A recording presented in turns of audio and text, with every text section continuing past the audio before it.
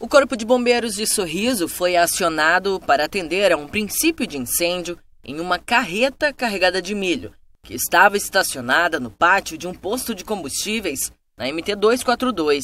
Segundo o motorista, o incêndio iniciou quando ele foi usar a caixa de cozinha do caminhão ao acender o fogão. Para apagar o princípio de incêndio, o motorista recebeu a ajuda dos colegas e funcionários do posto antes da chegada dos bombeiros.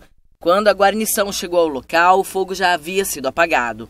Chegamos no local, encontramos o pessoal já extinguindo o incêndio com o extintor de incêndio cedido pelo, pelo posto, né?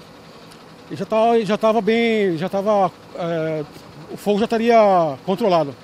A gente só fez o resfriamento, né?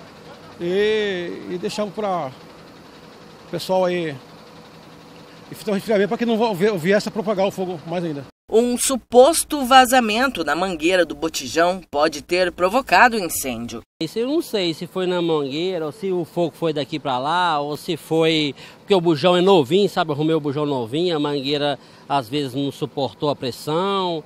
Eu acho que foi algo desse modelo aí.